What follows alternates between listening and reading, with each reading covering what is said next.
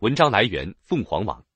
针对媒体上周报道指福茂集团董事长兼首席执行官赵安吉 （Angela Chow） 之死并非典型事故，正在进行刑事调查。德州布兰科县警长办公室 （Blanco County Sheriff's Office） 周一（三月四日）作出澄清，指赵吉安之死一直都被视为不幸事故，并未转入刑事调查。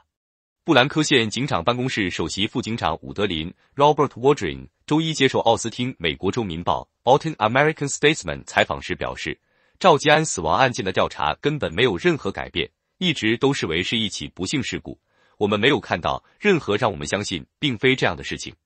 五十岁的赵安吉是在二月十一日凌晨被发现死于德州约翰逊城 （Johnson City） 一个私人牧场的池塘中。赵安吉落水一个多小时后，才被救援人员从淹没在水中的一部汽车中拉出来。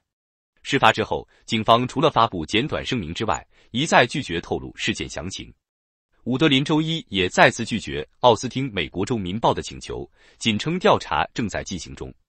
至于上周媒体报道为何传出警方刑事调查之说，布兰科县政府发言人阿许比 （Timberly Ashby） 周一将这些报道。归咎于媒体对该县向德州检察长寻求指导请求信件中的一句话产生误解，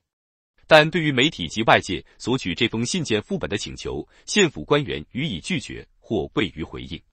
奥斯汀《美国州民报》报道指出，这封信似乎是要求州检察长对布兰科县保留赵吉安案件相关记录发表意见。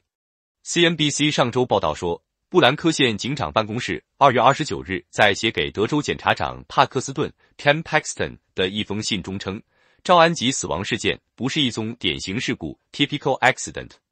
报道引用信件措辞提到，尽管初步调查显示这是一起不幸的事故，但警长办公室仍将这宗事故作为刑事案件进行调查，直到他们有足够的证据排除犯罪活动。由于该报道的内容与警方之前所发表的声明措辞迥异。引发各界对于赵安吉之死有更多的猜测。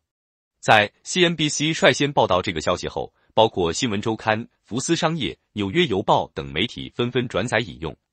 奥斯汀《美国州民报》根据德州公共信息法 （Texas Public Information Act） 向布兰科县警长办公室提交了索取调查记录的请求，但截至三月四日下午尚未获得回应。